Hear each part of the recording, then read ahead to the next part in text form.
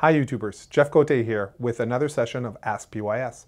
We've got a fellow boater, Don, asks, Jeff, Jeff, I've been told not to switch batteries while the engine is running.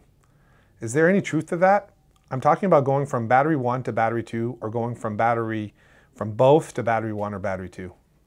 Don, great question. All right. Well, first of all, there's no easy answer to this because ultimately the way that a boat is wired is going to influence how the battery switch is used. But that being said, most of us, the answer that I'm going to give is going to apply to a lot of us. So this is commonly the battery switch that most of the boats used to have or even have. I'd say 99% of all boats have this battery switch.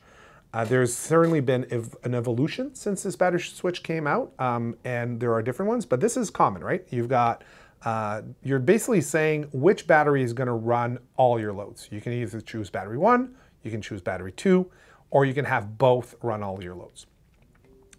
Notice the back of the switch only has three posts. Um, the third post is what's called the common post. That means that's where all the loads are going, right? And that's the bottom post right here. And then you're going to have battery one and battery two.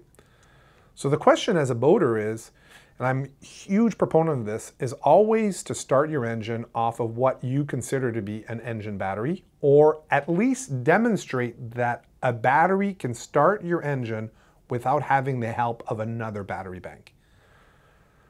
What does that mean? Is you want, remember when we're at the dock, we have control. This is the best place for you before you leave an, your dock, your mooring ball, for you to know that your engine can start on one battery bank and one battery bank alone right? Because it gives you confidence. You're like, hey, listen, if I can start on one, I can certainly start on two, right? If you're gonna have two batteries, it's better than one.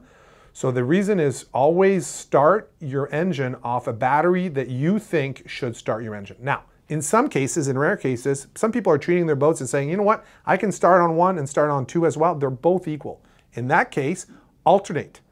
Start one day on one, start the other day on two. Constantly confirming that either battery or the battery you think should start your engine has enough juice to start the battery on its own. Now, where's this advice of running a battery switch on both?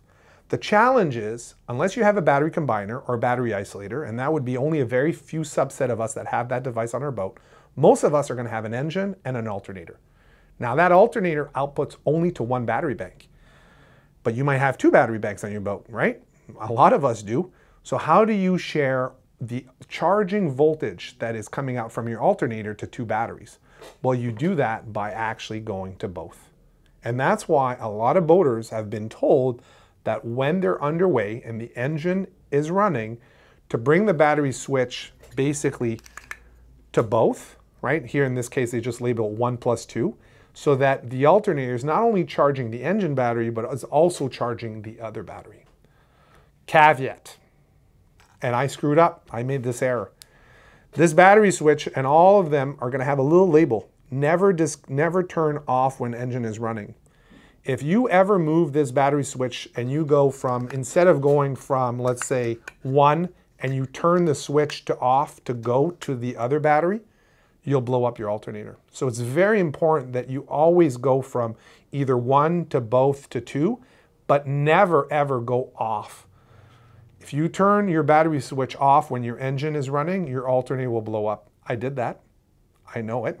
And so as a boat owner, you want to avoid losing your alternator, right? And so use caution when using this battery switch. The other thing, another little side note, battery switches do age. Nothing lasts forever. We know that. If your battery switch is 30 years old, 40 years old, the contacts as you switch from one to both or from both to two might not be great. And even though that you might see the lights barely flicker, you're like, I think I just lost power, even for a millisecond. That millisecond is enough to blow up an alternator. So if you are changing that battery switch from one to both or two, make sure that you have a relatively new battery switch because if the contacts aren't perfect, you'll blow up your alternator as well. So Don, that was a phenomenal question and thanks for asking. Thank you for watching this PYS video. If you've got further questions, ask them down below or go on our website to fill one of the forms. Also, support to keep this YouTube channel ad-free by donating on PayPal or purchasing some merchandise on our store. Don't forget to subscribe, and thanks for watching.